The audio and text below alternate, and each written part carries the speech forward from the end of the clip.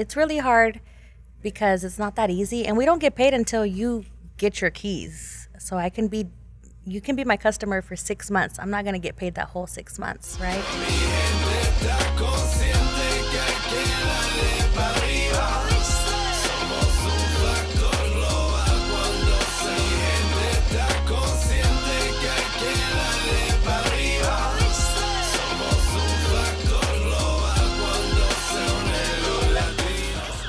Welcome, welcome, you and all, to another episode of the Global Latin Factor podcast where we talk about, say it with me, Latino everything. You know the motto. Thank you very much for being here. Make sure you go and subscribe to the channel. You already know that it does help us a lot, a lot. And like, if I say a lot often, it's because it really means a lot whenever you subscribe to our channel and support. Thank you very much for being here. Today, we have an amazing episode because we have a bilingual DFW Dallas Fort Worth area realtor with DFW Urban Realty and Realty, Realty, mm-hmm. and Airbnb Superhost. Can you believe she made her first deal at 10 years old and she did not even know what she did? yeah, she has been published on multiple magazines as well. We have Kristen Contreras and La Casa. Hi, how you doing? Hi, what's up, everybody? Hello, thank you very much for being here. I appreciate your time. Yes, I thank you so you much for having me. Absolutely. I know you stay busy. You have different businesses that you're doing, especially being a realtor. You're always out and about. So thank you for the time. No, thank you so much for having me here. I'm excited. And we're going to start with a segment that some of you already know Preguntas al Chile. If you don't know about Preguntas Preguntas al al Chile, Chile. now is the time to go check out the graphics. Carlos put together, producer, videographer, drone operator, and all that. He's been shy about doing an interview with me, but one of these days we'll get him. Lista? Yep, Are I'm ready. Ready. Yes, estoy lista. Tacos o tortas? Tacos. Oh, that's easy, tacos. I corn love tacos. tortilla or flour tortilla. Well, when I'm on a diet, I'll do corn, but regularly it's flour. Okay, gorditas o sopes. Ooh, gorditas. I love rajas con queso. Gorditas de rajas con queso. Yes, that's my favorite. Or frijoles con queso. Mm. Too. Yeah, they're good. Sounds yummy. Mexican coca or jarritos. Jarritos. What, I love what jarritos. flavor? Um, ooh. I like the piña and the lime. Piña Mm-hmm. lime. A piña with a torta. That's good. Oh, with the tortas. You have like these questions are so hard. I know, right? Can I choose both, or has to be one or the other? I mean, we will prefer the love for one more than the other, but I can see Okay. sometimes it's kind of hard to pick one. It is. so It depends on what I'm you wanna- feeling. if you want to call it Thai, we'll go with a Thai. Okay. Okay, ha- agua de horchata, jamaica, tamarindo. Aguas frescas. Okay, I like horchata and jamaica. It's like like both. too. Uh huh. Jamaicas and tamarindo for me. Yeah. I like it. Menudo or pozole? Pozole. And my mom makes the best pozole verde. Really? Yeah. Wha- Have you had what- verde? Okay, so what is what is the? I don't doubt that your mom's pozole is the best. What makes it so unique or so good? Just the flavor is like perfect. Perfect amount of salt, perfect amount of chile. Everything's good. You know, it doesn't ever lack anything. She makes it with love. That's yeah, she makes it with love, a little bit of sauce. You know, and then um, Let me guess. Your mom's one of the ones that just. yeah, I'm like, mom, what's the recipe? I don't know. You gotta watch me because I just throw stuff in there. You know, that's how my my abuelita is too. So. I just have to watch them. I record my grandma making tortillas because Really? she doesn't know. She's like, "Nomás lo tanteo así," Lo and I'm like, tanteo. "Lo tanteo." I'm like, "Okay, well, That's crazy because they do be tapping into their ancestors and just like they just know the right amount. And yeah." like you said, every time years pozole still delicious, It's and good. it's just like Yeah. Sus. So there's no actual recipe, you know? That's like how many cups or teaspoons? un tablespoon de queso. No. Okay, continuamos. Churros o flan. oh, flan. I Flan. love choco flan. Choco flan. Choco flan is my Ooh, favorite. Yeah, that's the difference. Yeah. And my tia makes the best flan. You think makes it You have like enough to start Mm-hmm. You gotta a try restaurant. it. I'm gonna, you know what? She wants to start a restaurant and I'm Really? telling her to do it. Yeah. yeah. Next time she comes, I'm gonna, I'm gonna save you a slice. Yeah. Well, we'll have to remember a vegan. Don't really eat them on it, but I'm pretty sure Well, she then- makes a variation of it. I'm pretty sure I can have it. All right, I got you. I got you. You got me. No know you dairy. Okay. Yeah. Okay, continuamos. Valentina, Tapatío, Cholula, o Tabasco sauce. Valentina. Valentina, yeah. Yeah, Conchitas, the pastries, the brown ones, the pink ones, or the white ones. Pink. Pink ones. Okay, so this was a different one, totally uh, off the wall, just because Okay. Carlos and I like a good conspiracy. a conspiracy theory that when you heard it, it was like Oh, that has to be true. okay.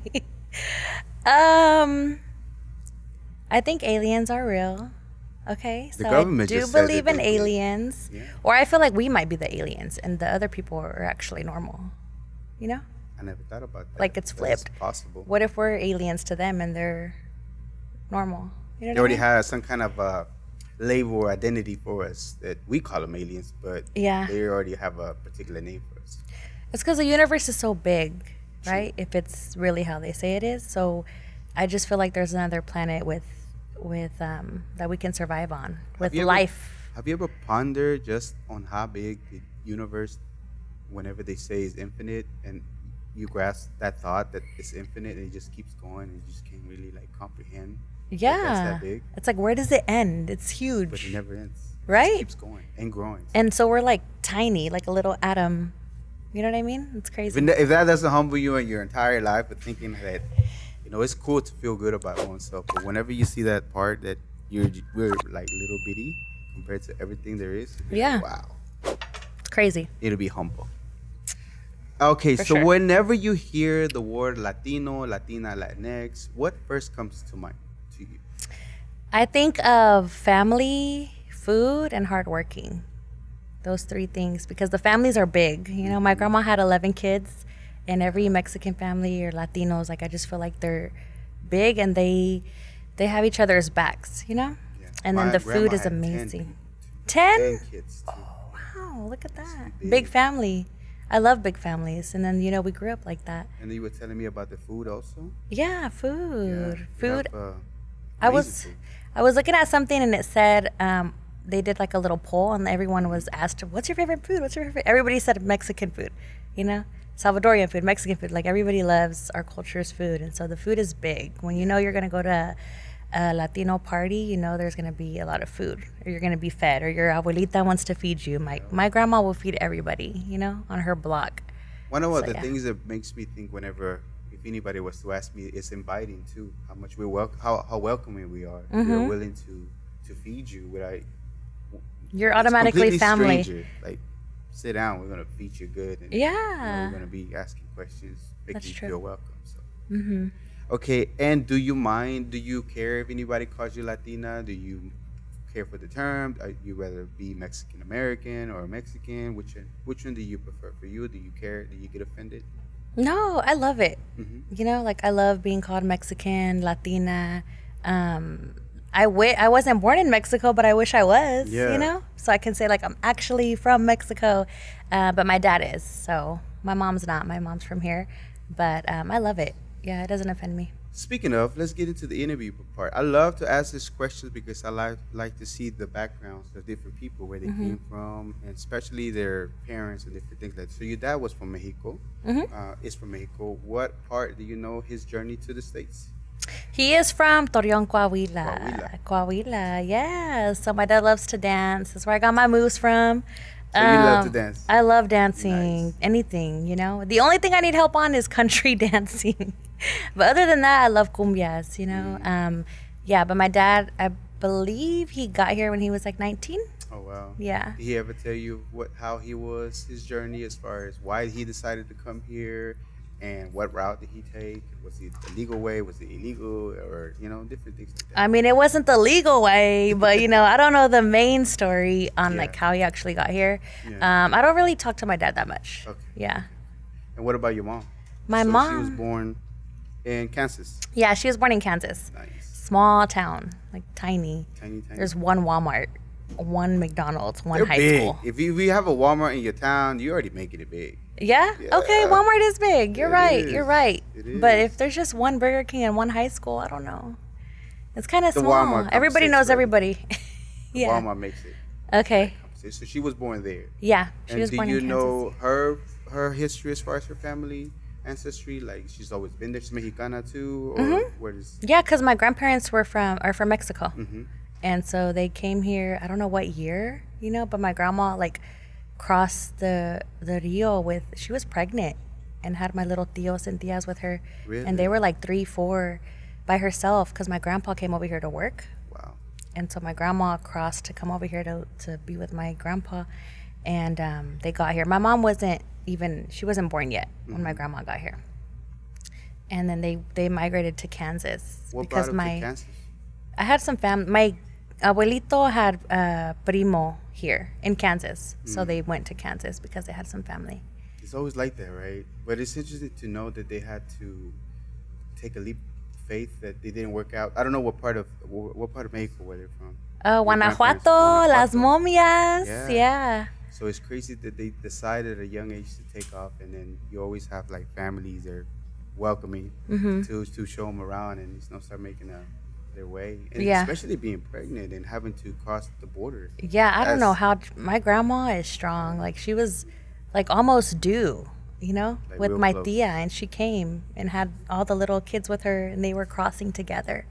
She had three two of my tias and one tío and she was pregnant and they came And they crossed. and they crossed all Did you ever ask her if how was that particular journey? Because I know my mom She was scared. She said they almost drowned. in the in the Rio. Yeah. I know. And then how did it? Did she make it out of it to where she, she didn't drown?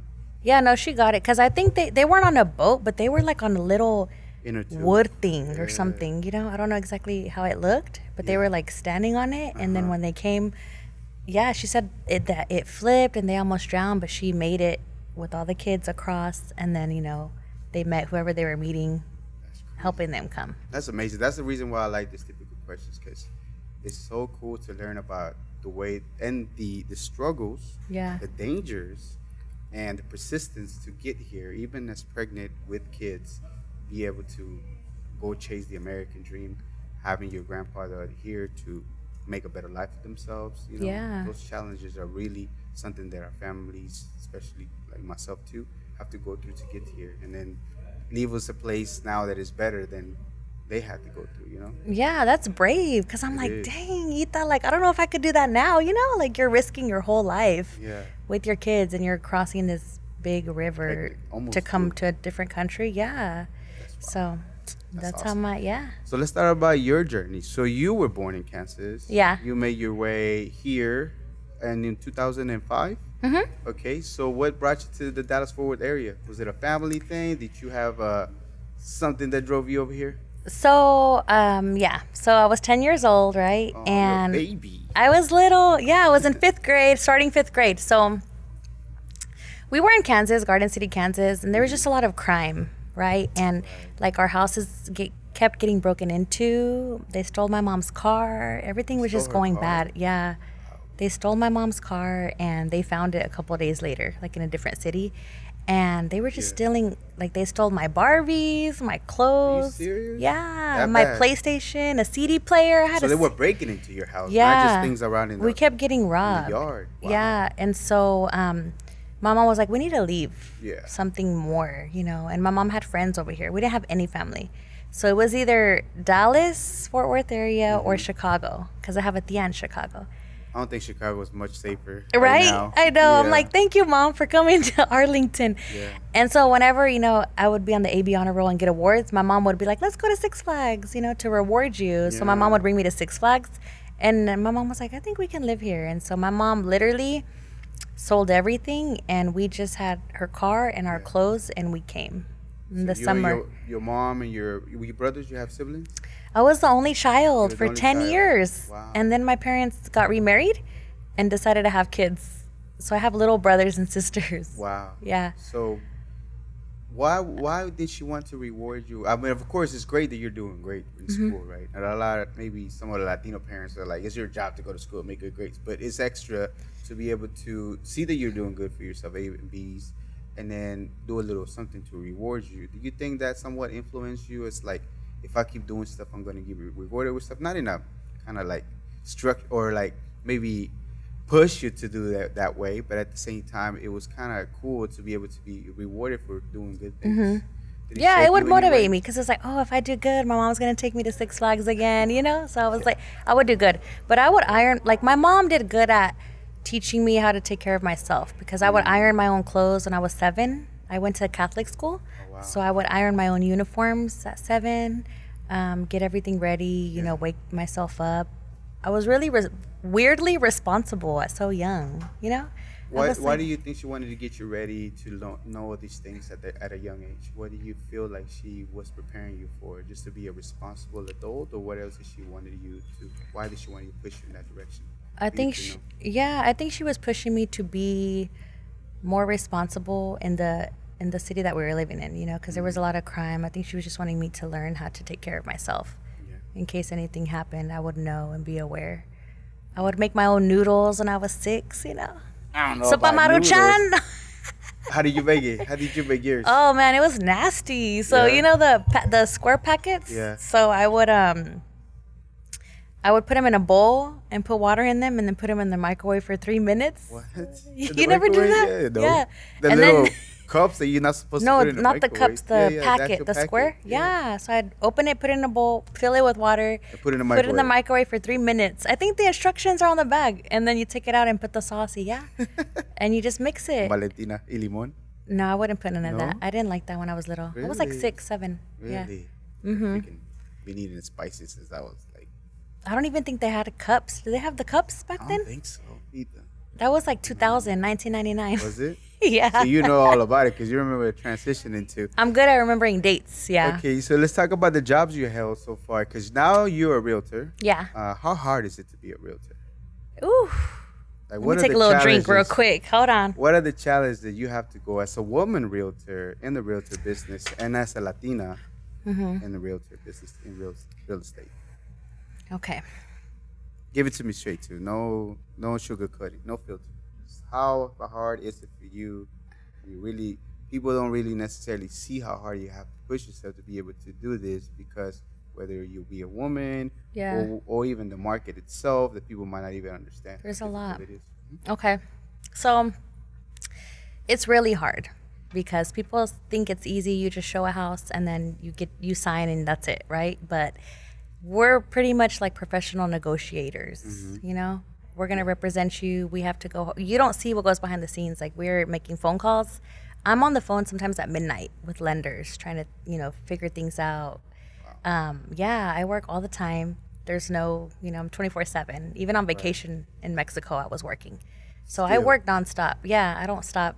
Um, it's really hard because it's not that easy. And we don't get paid until you get your keys. So I can be, you can be my customer for six months. I'm not going to get paid that whole six months, right? I'm going to be showing you a lot of homes, you know, it's a lot of time, energy, gas. Um, sometimes it's time away from my kids, but I'm sacrificing all this to build it and to help my client. So it takes a lot of time and a lot of patience that people don't don't really consider or don't think too much of into it. Um, sometimes it's hard because I've had actually I'll tell you a quick story. I had one particular client Right. that um, didn't want to work with me because I was it was when I first started, right when I was like freshly Why he tell you? because I didn't have a lot of experience. So it was it was a couple, and the spouse was like, "I don't want to work with her because she hasn't been in the real estate game you for a long time." from him directly, or did the spouse? The spouse told me what the spouse. I can't say names, but that's fine. We like the okay, nobody. so a married couple. One of them told me, "My person doesn't want to work with you because you don't have a lot of experience." I was like, "Okay, you know, like I was like, okay, but I work hard and I can get it done." So they were working with a realtor for two years. Mm-hmm. This was in the 2020, um, whenever everybody everybody was buying, right? Right. and so they told me that and they were working with with their personal realtor for two years and that realtor couldn't get them under contract so they kept losing every offer and so she was like you know what we're going to give you a chance like let's just do it Yeah. and so we looked at so many houses and I was like, let's go. Like she picked me up and we went and I was on my laptop looking at houses. Okay, go here, go here, go here. Right. And we went and um, I got her under contract in one month. And So we two got years for done. them trying to find a home, we're not able to lock it in with a more experienced realtor. With the more experienced realtor. what do you think was the difference between you, besides the fact, course, you're not experienced, but something had made you different, way different than the other experienced realtor? What was it?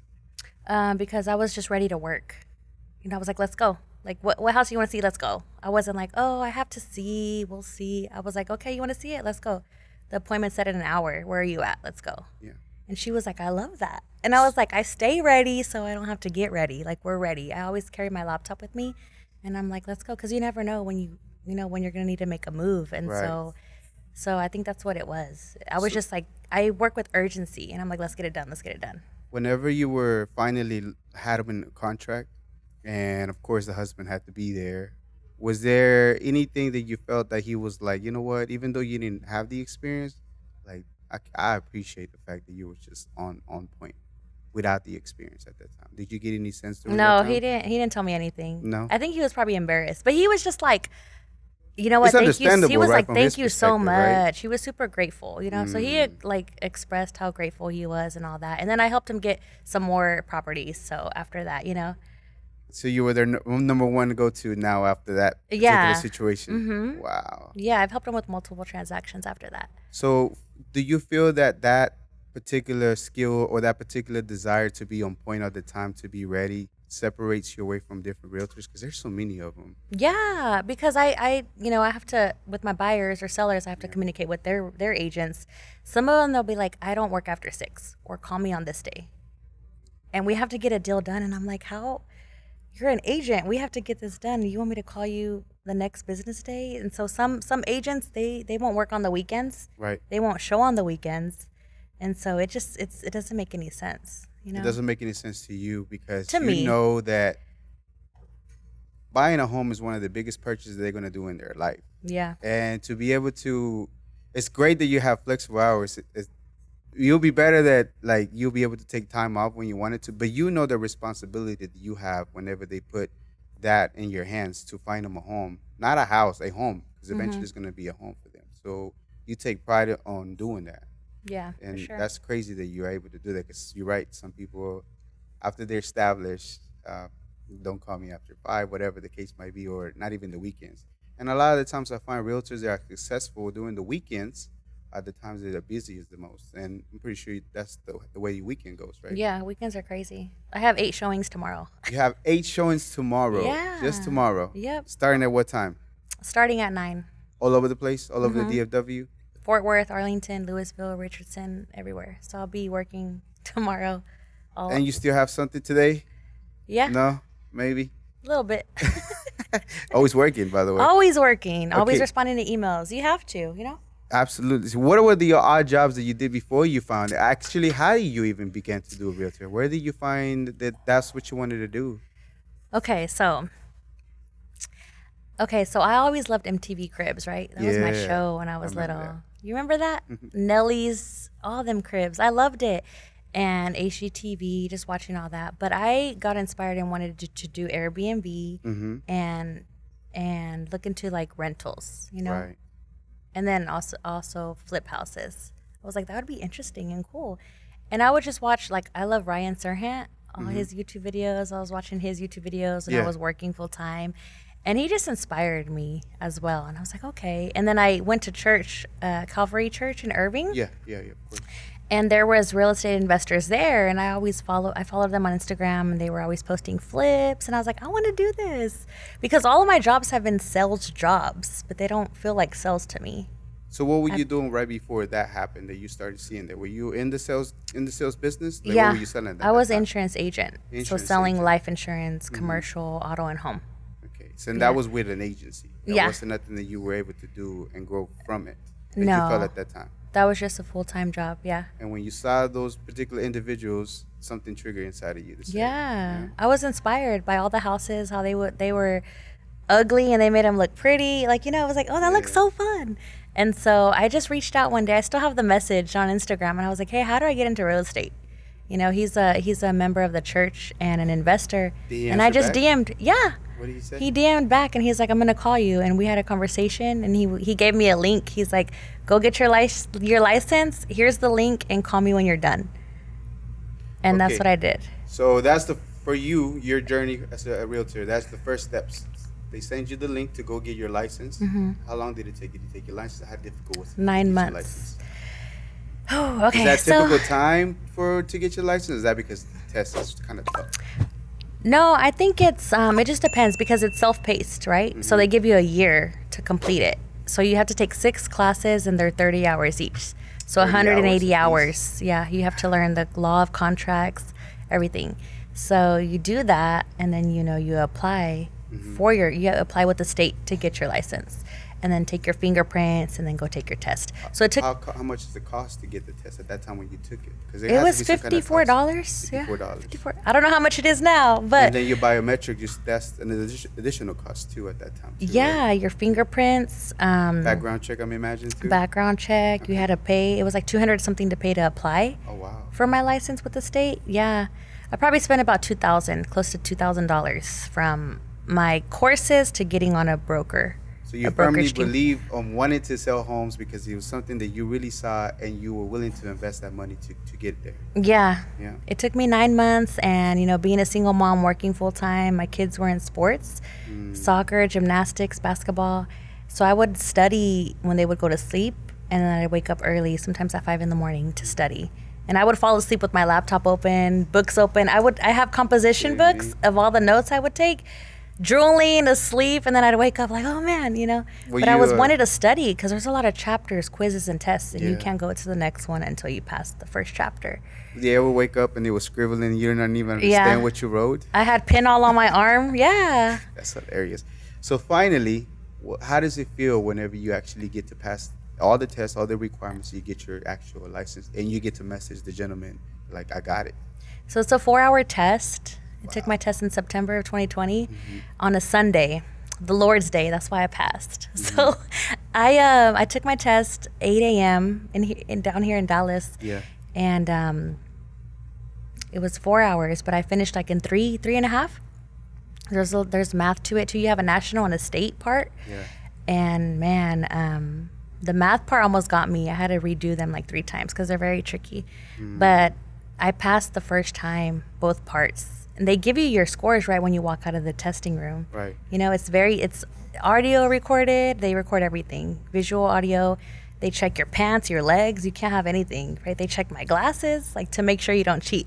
Really? Yeah, it's like hardcore. And so um as soon as I passed, like I I was like, "Oh my gosh, like the lady, the test administrator, I was like, I need to pray real quick. I'm so sorry. And in that lobby, I literally got on my knees. Yeah. And I was like, thank you, God, for letting me pass my test. And thank you for all the families' lives that I'm about to change and help. And she prayed with me. Like, she was holding my hands. And I couldn't believe it. Like, my heart literally stopped. And I went in the hallway because, you know, you have to, I think I was like on the fourth or fifth floor. Of course. I went in the hallway. I was like jumping, dancing, called my best friend. And then um, went to my, we went to go celebrate and ate and had some drinks. Was there any tears of joy? Yeah, I was Yeah. so happy because I was scared because they're saying like, you know, not a lot of people pass on their first time. So I was going in there like, okay, I'm going to try my best, but I know I might fail one of the parts. I don't know. Yeah. You know, cuz you never know. Honestly, when I did my insurance test, it took me 6 times to pass that. I kept getting 68, 69, and I was like, "What? What's going on?" And so I was like, "Okay, how is this real estate test going to go?" But passing on the first time, I was like, "Oh my goodness, like I got it." you know. And I studied. I took a boot camp. It was $120, and they pretty much prep you for the exam. Wow. So I'm thankful for that investment because it's this crazy journey as far as just even preparing yourself to try to to get the license to Mhm. test. Hopefully you're ready. Yeah. So now that you get your license, do you DM them in and let them know you got it, or you just begin to get into it and start seeing where can you go from there? yeah, because it was it was a partnership, you know. So it was two guys together, and so I I texted them. I was like, I passed, and they're like, you know what? It's so crazy because we get a lot of DMs of people wanting to be a realtor, and we tell them to go study, and they never do. And they're like, and you went and did it and did exactly what we told you to do. You can So see it's why the though, team right? that I'm on. But you can see why though, right? Because it'll be a little bit discouraging of all the things you have to do to be able to get your license. It's not easy. It's not yeah, it's a lot of hours, sacrificing a lot of studying. You know, you have to understand and know. And some of it's not going to make sense, and some of it you don't even use in the real world. typical That's school. always what it is. Like typical yeah, school. you don't even use it. You Yeah. know, but you have to learn it, know it, and then go take your test. So finally, now they talk to you. Yeah, they're partners, and now you start working with them.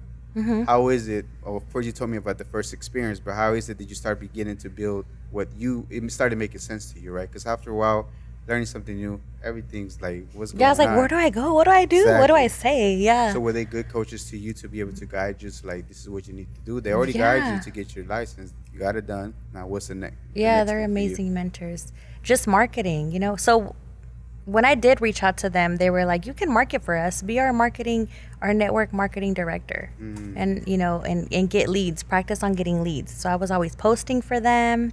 Um, I was always we had like free home buyer home buyer workshops.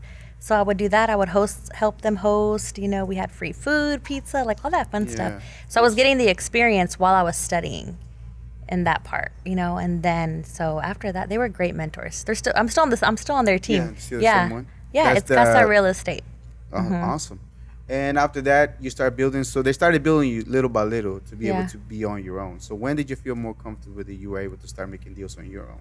How long did it take from the time you got your license to you're feeling comfortable to be just flying What around? was the next month? So I got Just like licensed in that? September, and I had my first client in October. Just yeah. like that. Uh huh. Which is the ones you told me about, or was it somebody? No, it was someone one? else. Yeah? It was a relative. So that's the cool Ah. part. It was a relative, you know, and then um, got him in But you can help October. them though, right? Yeah. Before the license, before you got your license, you weren't able to help them, but now you could. Yeah. You know exactly what, how, where to go about it. You know, they don't understand a realtor. Maybe they don't even trust them because us being Latino, we might not trust the stranger. Yeah. But you have somebody that's related to them, so like, and the timing was perfect because he was like, "I'm gonna wait. I need a house, but I'm gonna wait till you get your license." oh wow.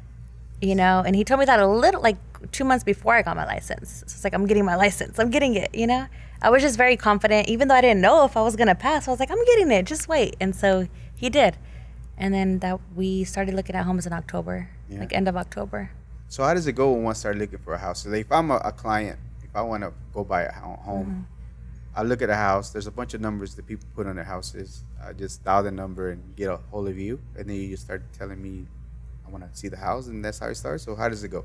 Walk me if I was a client of yours, and you want to show me a house that I, I kind of tell you what it is, and then you go from there. so before you're pre-approved or you're just freshly reaching out Firstly, you don't even know nothing about me. I'm just a random stranger from the streets. Okay, so I'm gonna say, so I'm gonna say, okay, when are you free to talk? You know, mm-hmm. because I love talking better than texting. It takes too long, and then sometimes when you're texting something, it can come out wrong. You know, because you don't know like the tone of voice. So I love to talk to people. So I'm like, when can you talk?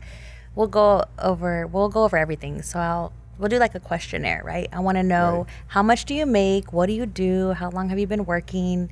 How much money do you have? Do you have a 401k, Roth IRA? um, any other savings do you how much debt do you have right what's your credit score a lot of people sometimes they don't know your, their credit score Right.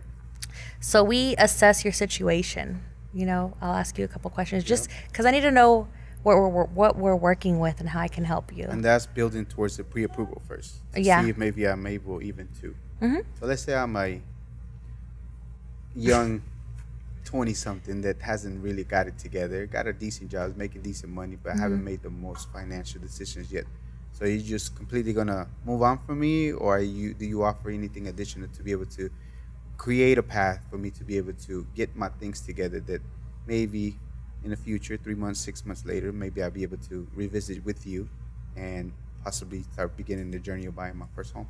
Yeah, we're gonna come up with a game plan mm-hmm. based off of your answers, right? So if you tell me mm-hmm. my credit's this, then I'm gonna connect you with the credit repair specialist or advise on, okay, maybe you need to pay this down. You know, I know they say pay your credit cards below thirty percent, right? Or try to get it at least between like zero to four percent, just uh-huh. as low as you can. As low as you can. Yeah, as low as you can. And so I'll just give you tips and advice on what to help to help build your credit. It just depends what your what your problem is. But I'm not gonna be like, oh, I can't help you. Bye. I'm gonna be like, okay, next. bye next like mtv you know remember that mm-hmm. next tv Next, show yeah, i loved that show Of course. so but it's i'm not just gonna go you know be like bye see you later i'm gonna be like okay let's stick to a plan but then it's your responsibility to actually be disciplined and stick to that plan How often Some do people you don't. follow up with them to make sure that they're on the right path? yeah I mean, of course, you give them the instructions. People are going to be people. You're right. We're out young adults or older adults. You're supposed to know what you're doing. But some people might go the extra step and say, like, hey, just checking on you, make sure everything's going good. Do you have any questions? Everything's been pretty clear. Did I leave you more confused than when you started? And Yeah. Then, so that way you, you know that six months, three months, they're going to be on point. Yeah every two weeks Every two weeks, you do follow yeah up. right? every two weeks just to make sure the fortune is in the follow-up right? So just to make sure you're on track because sometimes life gets in the way or you forget. Things happen, you know, and I get that, but sometimes you need that reminder and sometimes it's like, "Oh my god, thank you for reminding So me." you're the realtor I alarm. forgot. Yeah. Realtor alarm of Mm-hmm. your your dreams. You know, everybody, not everybody, but there's a lot of people that dream of having a home, and that's cool. All right, so now let's say I repair my credit. Okay. I'm good now. Yeah. Seems like I'm pre-qualified. I got everything that I need. What's the next step? So I'm going to connect you with my preferred lenders. I love my lenders because they'll answer my phone call any time of the day. Mm-hmm. You know, and you want to have somebody a connection with or someone you have a relationship with already that will Right. answer emails, phone calls, texts, whatever. Because sometimes, you know, if you come with me with you're already pre-approved, that's great, but sometimes it's a 1-800 number and I can't call someone directly or they don't work on the weekends. And that's the toughest part where, you know, deals contracts are getting executed on the weekends sometimes, Right. Saturdays, Sundays. But um, I'll is a connect lender you. bank, or who are they specifically? Yeah, they'll be. So I have one that's a bank, and then I have others that are brokers. Mm-hmm. So they work with different types of lenders. You know, they have options. Yeah. So their whole job is for them to get your information, to move it into their underwriter to see and start analyzing your particular package or your for your home and start seeing if everything that is required for you to be able to get the, the house is there. Yeah, And I'll connect you. Yeah, so once you're good with everything, I'm going to connect you with the lender. You know, we'll be on a three way text or three way call, whatever works best. You have to apply. So you fill out the application. They're nosy, they're going to be on your business. They're going to check your credit score, you know, everything like that, bank statements, most two recent pay stubs, whatever it is. Yeah. You upload all your documents and then they check it, run it through underwriting. important is it to be upfront about your situation, about how your credit is, and things that you might feel like you don't necessarily have to tell you that is related to finances or loans to tell you upfront. It's very important. Why? You have to tell us like on that first phone call that we have, right? Why? Because They're, the lender's gonna find out. the lender's going to be like, "Oh, he has $40,000 in student loan debt. Did you know that?" And I'm like, "Well, no, he didn't say that," you know? And so we run into that issue where you have to wait or your DTI is too high. what is DTI? So things debt to income ratio. and that is so- pretty much depending. Debt to income will be your inf- your your money coming in and what's going out. Mm-hmm. Pretty much to determine there's a threshold that has to you have to meet to be able to be qualified your debt to income. Hello, quickly jumping in to let you know. I know that you know you are enjoying the show, so go ahead and subscribe, hit the notification bell, and now back to the episode. Because you can't be bringing in 2000 and 2000 is going out or even more Yeah, than that's going out. So don't- there has to be a threshold for you to be able to qualify to be a home that's Mm-hmm. based on 2008 that everybody was giving houses like candy. That's the reason why they do. So they check that to make sure that the DTI or debt to income is on point. So Yeah. They will be able to see that you are able to afford your payments. Yeah. Because they're, they're not going to give you all this thousands of dollars if you have so much debt, you know? And then they're going to see how you manage your money. Yeah. So that's really big. So yeah, your debt would be what? Your personal loans, installment loans, credit cards, auto loans, student loans. Yeah. So All that very- stuff that's on your credit. As stuff is on your credit, but be very honest as far as what is it that you have because again, the lenders are going to find out if you have something pending somewhere. And it's very important also to hold on on purchases like cars or bikes until you finish the process of buying a new home. Why is that important? Don't buy anything because it's gonna affect everything. affect your DTI. You know, don't go buy a new. So I've had I had a client that was pre-approved and you know they were already looking into buying hot tubs, jacuzzis. I'm like, no, don't buy anything, right? They're like, I can put a hot tub in my in my backyard, and I'm like, no, we're not gonna buy anything. Um, you don't want to go use all your credit cards. You know, you don't want to go buy a new car because that's just going to affect your pre-approval, and you're no longer going to be approved for the house because they're basing it off of your credit, then your income, your debt. You know, and so all that comes into play. And so if you mess with any of that, it's going to affect the whole loan. Okay, so what is another thing? So that's important to make sure that you maintain that. What other could be a deal breaker as far as you moving into your home? What other things have to be very cautious about? Make sure you follow up with what you're telling them to do Yeah. to make sure that it happens. um, if you lose your job, you know, like keep your job. Don't change jobs. Don't change change banks. Um, there's been people where they have all their down payment under the mattress, you know, or at home, you can't. They have to be able to trace all the money that you're Correct. using for your down payment. So you can't just go make huge deposits into your account. You know, as Well, even either. then, it has to be seasoned a certain amount of time if you do happen to have. So usually it's about two months, but usually Yeah. a lot of the times they're going to be looking into where does this money come from. yeah. And if it was under your mattress sitting because you don't trust the bank, they're gonna. they're not gonna that. they're not gonna accept it. They're gonna be like, no, where's this money coming from? You know, because there's a lot of fraud and stuff. Not I'm not sure what year, but they want to be able to to trace everything. Everything has to have a paper trail. But not only that, but it makes sense that that fraud, uh, money laundering, Mm-hmm. Yeah. and all that stuff. It makes sense with them to ask questions about that because it's not necessarily you asking that or the lender. It's most likely it, the individual is going to be buying the home, Mm-hmm. and it's mostly government regulated. So that's the reason why it's not necessarily. A lot of the times, the realtors or the lenders or whoever else gets blamed, but it's not necessarily that. Y'all just following the rules of the things that are required for for you to get your home because of what happened in 2008 and other people not playing nice in the mortgage Yeah. industry. Yeah, so they're more strict, They're more and they're gonna be all in your business. Mhm. You know, they're gonna want to know everything. Yeah. So you got to be careful during that whole time. Then finally we get to sit down and we get to do the signing. Anything else that you do during that time to prepare for them to be moving into your home, or you're just keeping an eye on making making sure everything, like they call it, make sure there's no fires that you have to put out the last minute right before they close. Yeah. Well, you go through the lending process, you get Mm-hmm. pre approved. That's your golden ticket to go see houses. Because a lot of realtors and myself are not going to go take you to see a house if you're not approved, right? Because we're wasting time, gas, energy, Right. and you're going to fall in love with something that we don't even know if you can afford or get, right? So you get your golden ticket, and then we have another meeting, and that's where I'm going to ask you what your wants and needs are, you know? Mm. And then I set you up on an MLS search. You're going to get all these emails of houses that fall in your criteria. And you're going to let me know which ones you like. And we're going to go look at all of them. Alright. You know? So golden ticket pre-approval. So again, to know that you are able to, based on the requirements of the Mhm. government, that they can see that you are able to afford a home, and then after that, you show them the homes. How many homes have you shown the most out of, like, let's say one of your buyers? Like, are you like one or two houses? In and a day? get something Or total. in in general. In a, ooh. In a day, I've showed 16 houses. To one person? Yeah. Wow. What's and so um, it's a lot.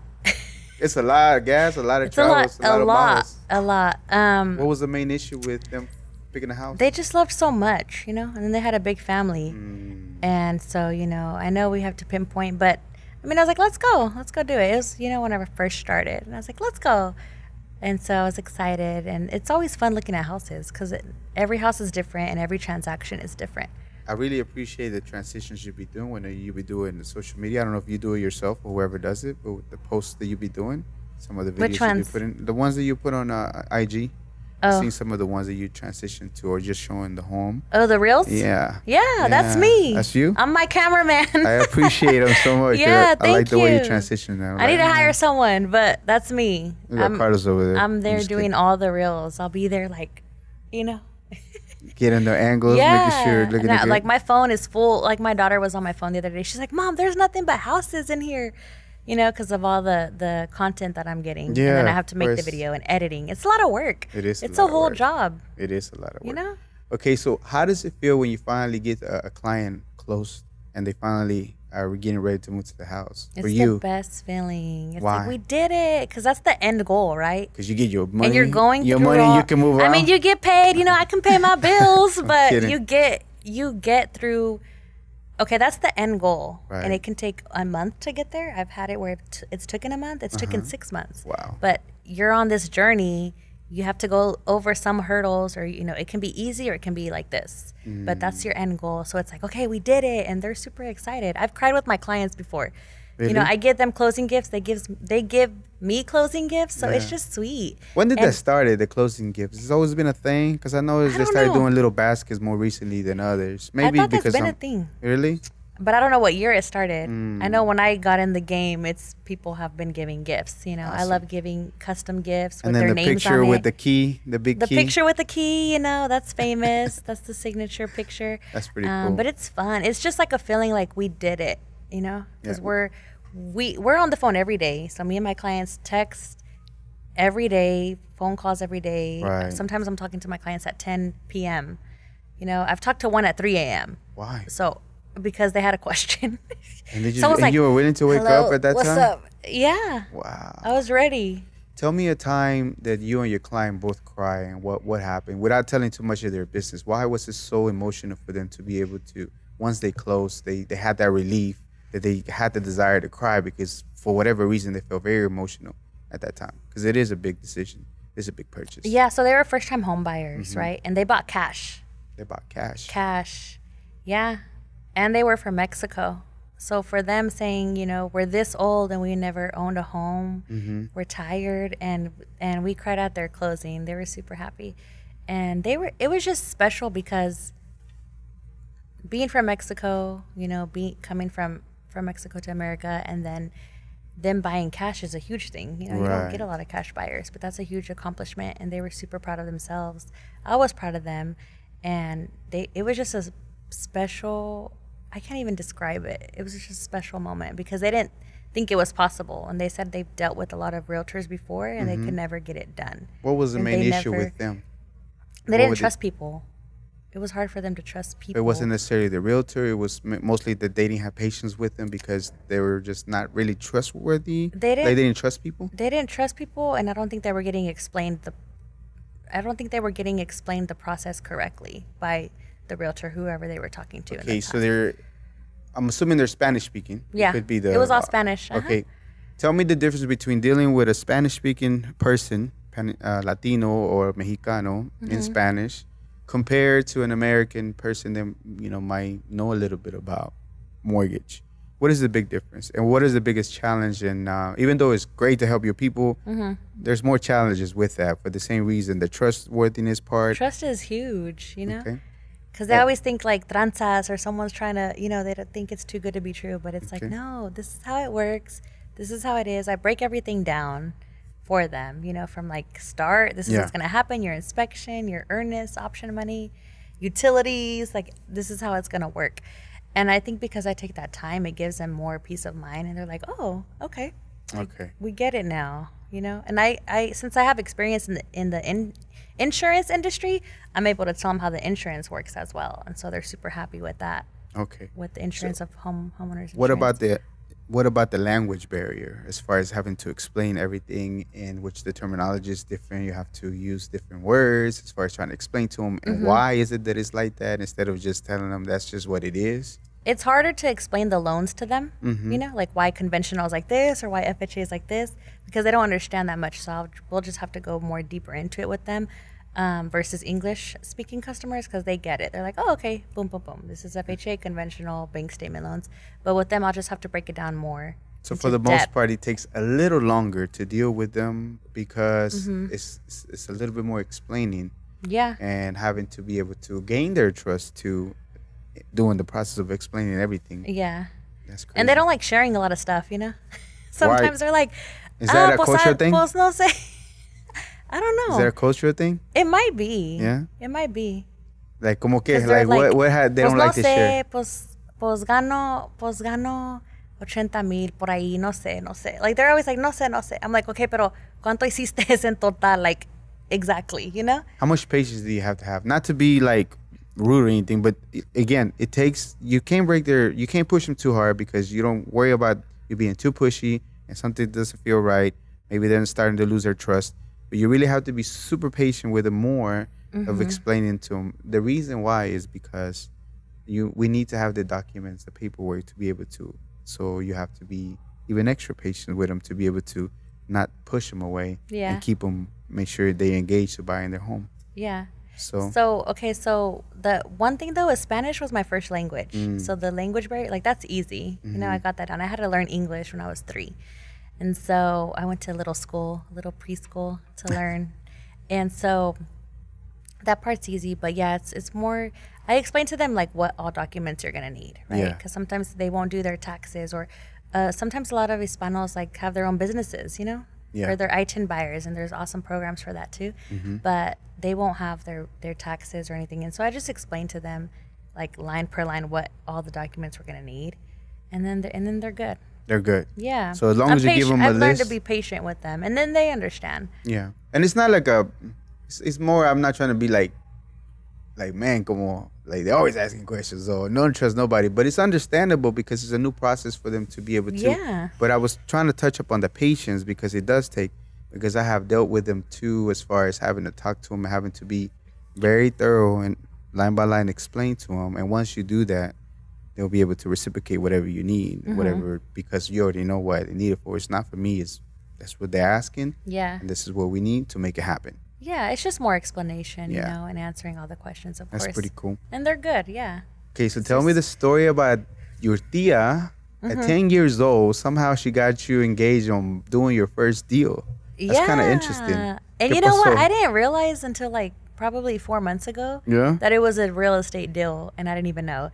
I barely came across that. So I was 10 years old. You know, Uh-huh. I have family in Kansas still. So I was with my tia, and my mom was over here in Texas. And I was just with her for the summer. She just had a baby. And Mm-hmm. so she was like, we need, you know, her lease was up at her rental house. And Mm-hmm. she's like, we need to find somewhere else to live. And so she's like, Mija, will you help me look in this in this newspaper? And I'm like, yeah, because listings were in newspapers. Do you remember that? Yeah, back in the days. Yeah, and so I was flipping the, through the newspaper. Man, rent was like real cheap, four or five hundred, you know. And so I was looking through them, and um, I circled like the ones I think she would like for her. And I'm like, yeah, look at this, look at this one. And so she called because it have it would have the number, like the Yeah. size of the home, bedrooms, bath, and price, and then the phone number. And so she called the number and uh, made the appointment, and we went to go look at it. It was a townhome. Wow. Yeah, and we we toured it, and um and she got it. She applied and got. Were got you the got her interpreter for her? She knew English. No, she knew too. English. Yeah. But I just found it for her. Yeah. So the one that I was like, I think you'll like this one. Oh That's the one she ended up moving into. It's crazy. That's crazy that you were able to do that. I, I would just order pizza when I was learning English, and I thought I was accomplished. you got a whole house for your tia. That was like levels. Okay. But to me, I was just helping. You know, like I didn't think of it of like, yeah. oh, this. Like I just I love to help, and I love building relationships. yeah. Yeah. Why I is love that? Why do you feel it's important for to do that in regards to? I mean, it's important as a realtor, right? Yeah. But in general in life, why do you feel relationships are important? Good relationships, uh, relationships that are gonna make you grow more. Why do you feel it's necessary for you? I just feel like you can learn so much from people, and then I just I love being genuine. You know, and and building that connection because you never know how far it can go. Yeah. like hey you know like all my clients all the, the relationships i've built i've gone to their baby showers their carne asadas Wow. we spend holidays together Wow. another client made uh, ceviche for me and i went to have dinner with them That's after you know like In their months, new home? months after yeah in their new home Nice. so it's fun they they all turn to into family you know because it doesn't end with me it doesn't end like oh here's your keys like bye Peace. have a nice life it's like how's your house how's this you know how's your baby how's your granddaughter like it's just we stay in touch forever That's like we're crazy. because we're talking every day you know so we build that relationship but Sometimes it's at three in the morning.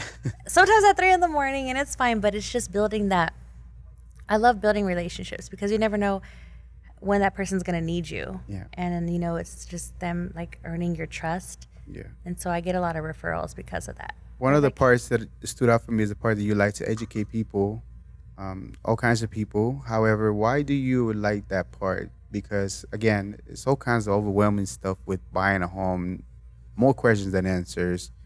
People telling you all kinds of stuff about either bad experiences or good experiences or things that are, are not real. Um, why is it important for you to educate people in regards to as you're going through the process? telling them that or just educating them in general about either home or whatever it is that you like to educate them about.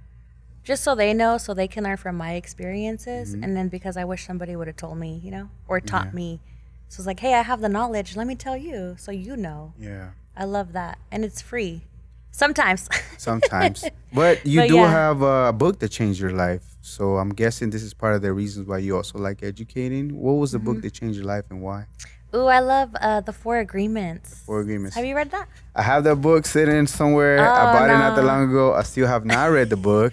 I am going to read the Four Agreements and another financial book that I was given um, Okay. thoroughly, but I've heard about it. Mm-hmm. Why? It's two. So it's the Four Agreements and then Rich Dad Poor Dad. yeah, that You was know? very classic. I yeah, that one's like a, a super famous one, and I'll tell you Yeah. the, the crazy story about that one. But The poor dad because, or no, the four agreements because it has a a law in there of like don't take anything personal, and that's so true. You're the second person that that. tells me that. You know that? Yeah, Another the guest that four I had agreements, yeah. told me the same thing about I that love part. that one, you know, because sometimes people are going to tell you things like the one where, oh, we don't want to work with her because she's not experienced. I took it personal, but you know, before I read the book, I didn't know. But after that, it's like, okay, don't take anything personal because sometimes what people tell you is not, it's based off them, like what they're going through and, you know, like their perspective. It's not you necessarily. And imagine if have maybe you didn't understand it, but you still didn't give up on them, even Mm-hmm. if even though they were working with somebody else. So if you were to take a personal, of like I don't want nothing to do with them, they didn't want to buy because I was oh that's fine. But you came back around, stuck around, kept going because you know it was about business. It wasn't necessarily personal. Yeah. And you still got them to close. I kept I kept bugging them, you know, and sending them homes like that I think they would like, and then they kept seeing my closings, you know. So like it might have been a little fire for you, not in a personal manner, as far as like I, I'm not gonna do any business with you, but a little fire for you, like I'm gonna show you. Mm-hmm. I'm gonna show you that I can do it. Yeah. and you did it. Mm-hmm. That's awesome. Yeah, I and then what about the uh, poor, rich dad poor dad story? What happened with that one? The Rich Dad Poor Dad, I read when I was so broke, Really? right? Like a one bedroom apartment. My rent was five sixty, the good rental days. Um, I was working at Lisa's Chicken, making like nine dollars an hour, and I couldn't afford Christmas for my son. Ouch. and I was like, I can't even buy him anything. You know, I had to go to Mission Arlington where they had um, like a Christmas toy drive, and you Yeah. can go get kid, you can go get toys for your kids if you couldn't afford to buy toys for your kids. Wow. Yeah, I went, I did that, and at the very end, they gave a gift for the parent or mom or dad. You know, and they're like, here, t- you get to pick a gift, and my gift was that book. Like I picked that book, Rich Dad Poor Dad. Oh. Yeah. I was like, this is meant to be. Like, I need to learn more, you know? Because I never want to not be able to afford Christmas for my son. You know, I was a teen mom, so I had my son when I was 17. Oh wow. Mm-hmm. So within those changes and that those events, it made you realize that something had to change. Mm-hmm. So did you make a drastic change at that time, or you just knew in the back of your mind you just have you have more to give, you have more to be able to provide to your kids, so you don't miss out on or having to go to. It's nice that they have those particular services, Mm-hmm. but it's even better whenever you're able to provide something for your kids. Was it a drastic overnight, or did it take gradually? But at the end of the, at the day, you still had it in your mind. I can do better. I Yeah. I knew I could do better for sure, especially being pregnant and Mm-hmm. a teen, you know. And I was kicked out, so I was like living out of trash bags and stuff. At my friend, at my best friend's house, yeah. Wow. When I was a junior in high school, still working full time and then going to school and being pregnant, and you know, a lot of people didn't think I would graduate, and I graduated, working full time, went to college. I dropped out of college though. I don't have no college debt over here. I dropped too. I ain't got no college debt either. You ain't gonna find that in my no college debt. Hey. Nothing wrong with college, But but, y'all I'm go just to saying, college y'all go to want. college if y'all want. If it's for you, it's not for everybody It's not else. It, required. does, it doesn't stop you from doing whatever you need to, and you know, getting your license as a realtor. So, Yeah, you don't need to go to college. You just need 180 hours. So how did you get into? We we didn't show on time, but I really want to touch up on the part about the Airbnb. So Mm-hmm. you're a super host. I know that while watching the gentleman, Air, Airbnb was in the back of your mind to try to get into it. But how did you decided to go in and be one of, an individual that hosts an Airbnb, or I don't know what the title would be. I know you Yeah, said super Air- host. Airbnb superhost. Uh-huh. Yeah. Nice. Um, so it was on my list, right? I love to make dream boards every year. So I was like, I Mm. want to be, you know, I want to start Airbnb. I want to start. I didn't know where to start or what, but I watched YouTube videos, All the time. Right? Watch YouTube videos, Mm-hmm. and like, there's so many resources out here now where you can learn so much from, right? So there's no excuses to not know how to do something. But I would um, researched, and then you know, I have a business partner, so we found the home and sublease. So it's called subleasing it, right? And so, so we don't own the home, but we sublease it, and we just furnished the whole thing. You know, bought everything from Amazon. Um, got tips like I know they like everything white because it's Yeah. clean. Mirrors have to be in every room, so I got like all the main tips of other Airbnb superhosts and Yeah. YouTube. And so I just followed that, ordered everything on Amazon, Mm-hmm. spent a lot of money furnishing it, and um, the beds are uh, actually green tea foam memory mattresses. They're Wow. super comfortable. Yeah. But and that's an important part in Airbnb. The beds have to be comfortable. And so um, got professional photography pictures done with it. You know, like the guy who does my pictures for my listings, he went and did pictures for the Airbnb, and um, we posted it. I created an account. Um, you know, got everything legal, LLC. You got to get your legal paperwork done Of course. um, business bank account, all that good stuff, Yeah. and then um, posted it. This was last July. What's the name of it? Of what? For the Airbnb business, or is it just under your name, or is it something different? Of the LLC? Mhm. Oh, it's called Con Luna Getaways. Come on. Con Luna. Con Luna Getaways. Oh, LLC. wow. Yeah, nice. Con Luna Getaways. So, um, as soon as I posted it, like it goes live, right? It tells you, oh, your your listing is live on Airbnb. Nine minutes later, we got our first booking. Are you serious? And Just I was that? scared because I didn't have toilet paper or paper towels because I was like, oh, I'll do it this weekend, right? I didn't Mm-hmm. think somebody would book so fast. And they're like, hey, can we check in now? I'm like, no, give me give me uh, two hours. Like you could check in at this Yeah, time, yeah. right? And I ran and, and to Kroger and bought um, toilet paper and, and paper towels. And then I was like, okay, you can check in. Here's the code.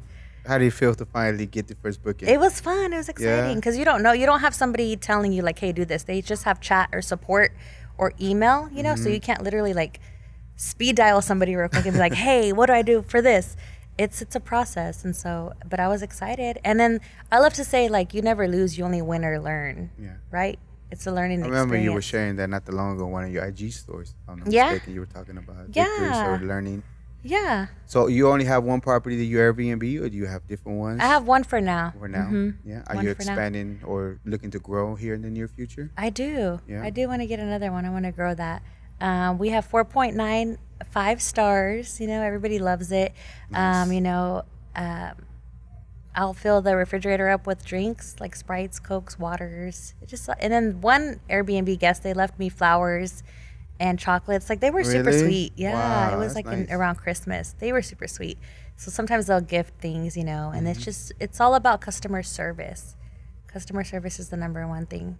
And that's both on Realtor and Airbnb. Yeah, How that's everything when it, when you're dealing with oh, it's it is 100% important, and that's Yeah. where all my jobs have been. I've always dealt with customers, you know, and so I my past jobs have helped me gain the experience to what I do now. What was So I'm thankful for that. what was a really really bad customer service that it was bad at, but you learned from it to be able to be more like be able to understand and hear the reason why they were frustrated and still be able to tell them the right things to not calm them down maybe or not lose them and be able to still gain them back and be a customer of yours. For anything, Anything. anything. Oh man, I'm trying to think. I think it would be when I worked at um, Lisa's Chicken. Yeah. because they wanted to fight sometimes. You know? Really? Yeah.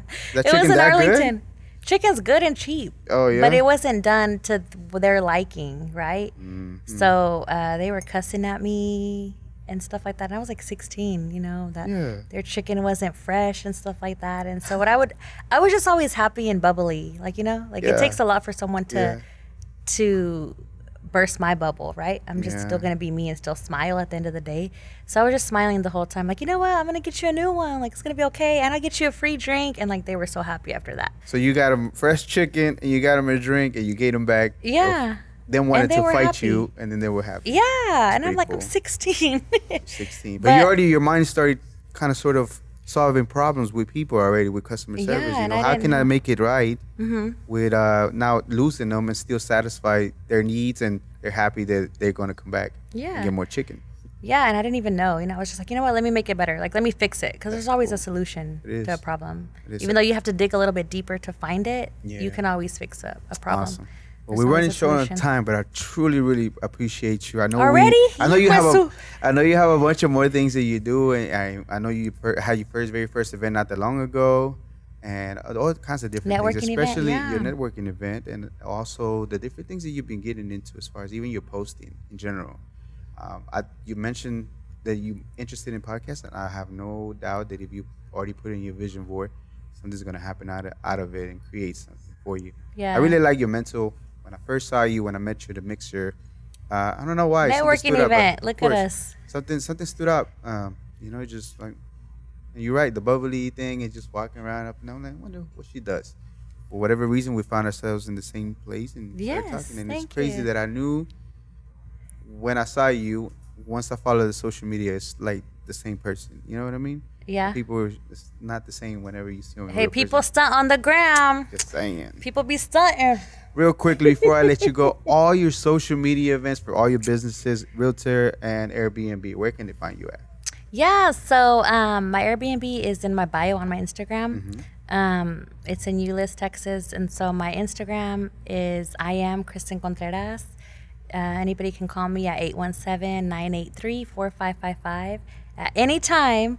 Um, leave me a voicemail, send a text. You know, Yeah. my email is Kristen at casarealestatellc.com and Facebook Kristen Contreras. Yeah, you send me all the info, I'll make sure I put it in the description. Make sure Yeah, I will. I'll send you all the links to everything. any projects, anything else that you have that you're working on besides the future podcast, hopefully? What else? future podcast helping more buyers and sellers um you know and then i also want to do get into flipping houses the flipping So, houses. That's the la- other part that you be said that cooking that up interesting. yeah. you know it's a learning process i told my younger 20 year old self like i want to learn as much as i can you know just learn as much as you can you can't go wrong with that Yeah. and go and experience things as well That's crazy. Uh, shout outs, saludos, any saludos that you have to anybody. Saludos. Um, yeah, shout out to you. Shout out to you for having me, for your platform, for, you know, inviting me, having this to be able to discuss everything and all the lives you're changing and influencing. Um, shout out to me for believing in me, course. for working hard. Um, shout out to my kids, Isaiah and Aaliyah. I love you guys. They're my fire. They just light me up every single day. You know, it's a fire that's never ending. And I do it all for them to set them up, my great, great, great grandkids. So one Yeah. day they can see, you know, how hard I've worked. Um, shout out to the Contreras family, the Viurques family, my BFF over there in the, audience. We have an audience today. Valeria with Reflect Beauty gentlemen here today. Lounge, you know, microblading, permanent makeup. Future guest. We're gonna be working Future on it very guest, she's on next, so stay tuned. Um, shout out to the camera guy over here, everybody here today, Carlos. Um, and shout out to all of my clients, all my clients, because they, you know, they keep my business going. They refer people. They've given me a chance, and they trusted me with one of the biggest investments of their life. That's scary. It is. It's a huge thing It you're doing in your life. But I think they put it in the right hands because of the time and the caring that you take to be able to make it happen. hmm I mean, with the patience and being available to be able to get and solve their, keep their mind at ease that everything's flowing the way it needs to be, yeah and educating them that that's just the way that it's going to be to make sure that we get to the finish line. yeah, breaking That's down the steps because you can tell when someone's genuine or when someone they just want to sell something real quick to get paid. You know, I've gotten a lot of that feedback too. They're like, "Well, this person was really pushy with us, and they just wanted to hurry up, There's hurry up, hurry funny up. about that. Whenever people are like that, it's something wrong. They just want to get get the deal done. You know what I mean? But you can feel that. I'm big on energy. You can feel that energy. Yeah. You know, some energy is is contagious, and you're like, oh, and you just get that good them good vibes from someone. Yeah. Okay, so here's a deeper one. Uh, Mm-hmm. what is an important lesson that you learned of everything that you're doing, whether it be realtor, uh, real estate or Airbnb, that you will tell your younger self that will help somebody out? My younger self. Mm. To. Mm, let me see. This is a good one. I have a couple. To understand that there's going to be season, different seasons in life, Right. right? You're going to struggle. You're going to be successful. You're going to be building. There's different seasons of life. Sometimes you're going to be struggling, but you're not always going to be there. You know what I mean? Right. To believe in yourself, because if you don't believe in yourself, then nobody will. And then also, like, to not, don't let your why be your why not. You know, like my kids are my why, but sometimes you'll hear people say, I can't do this because of my kids. I'll take my kids to showing sometimes. Like, they'll go show houses with me. I'm like, hey, kids, let's go. Like, they already know the drill, right? Yeah. And so they'll go with me. So, yeah, don't let your why be your why not. Something That's big. nice. I like that. This one's even deeper. Ooh, It's something that I like to say whenever I wake up throughout my day. I'm not immortal. I am mortal, and I will die Mm-hmm. one day. These are not my words. It's something that I heard before, but I really like the words. Yeah. For the same reason, they makes me realize that I'm not here forever. I'm not here forever, but I do have to appreciate the time that I'm not. I'm not gonna be here, Mm-hmm. and help me hurry up and do things and keep me, you know, not standing still and continually moving forward. With that, I wish you a long, prosperous life. However, when everything's said and done, what do you want to people to feel and think about your life? I want them to feel and think that I I was a hard worker and truly cared and wanted the best for them. You know, like I love hyping people up, Right. making them feel good about themselves. Someone who was always happy, laughing, just wanting good vibes all around. Someone who worked hard to leave, you know, a legacy behind. Just building. I want to set my whole family up, you know, and my friends. If I can set them up, set them up too. Make it all work together. But someone who really cared who really loved to inspire people and motivate people. You know, I love to just like light that fire in fa- family or friends Yeah. and just hype them up all the time. Yeah. I'm their cheerleader, everybody's cheerleader. So when someone's down, they always call me, you know, and explain why. And I'm always, I love to to point out all the good things in people so they can realize how awesome they are, you know? Yeah. Just bringing that good. You always need that positive, that little sprinkle, someone who's going to help you remember who you are. And who do you go to for when you need that type of? So I go to someone over there in the audience, you know, my mentor, my mentor, my grandma, my grandma. She's always praying for me. I love her. Yeah. Shout out to my uh, Ita. I call her Ita. I can call her for everything, and she's always gonna like turn me back on. Like, hey, you're okay. Do this. Do this. You know? Yeah. I go to her a lot. So whenever again, when I saw you and we found ourselves in that uh, when we were talking, I'm like, Mm-hmm. I, there's always you think always think people have stories, right? You always Yeah. think people have something interesting to say, but a lot of times you might not realize what it is or whatever the case might be. Mm-hmm. But learning where you've been, how you had to go find a toy for your kid because you were not able to, you were struggling so much. To be able to now be a realtor and do well for yourself and do the Airbnb and then just continue to be of service to people. That's that's amazing, you know. And the fact that you had to go through the journey of how hard it is to get your license but still maintain and were able to succeed. Mm-hmm. That's not easy. And it's amazing and inspiration. I hope that somebody finds your story inspirational. The fact that it's doable, even if you're pregnant, even with your kid, even if you're young, even if you're seems like you're at the bottom, there's still a way. Yeah. And and I think that shaped the way that you are. That you're, you know, the one that people go to to be able to get words of encouragement and help them see that, that there's good in the world still. That these are seasons sometimes. This is not always going to be like that. It's temporary. You just gotta keep pushing. you just gotta have faith and work hard because you can and you need to pray but you know prayer prayers are promises but you also have to put in the hard work. And i had just i just had faith. Like i was 16 and pregnant and didn't know what to do crying every day but i'm like i think i i know i'll be okay i know i'll be okay. You know i would Yeah. talk to my grandma and she would just install all kinds of, of things in me and give me like peace of mind that i was going to be okay and pray with me.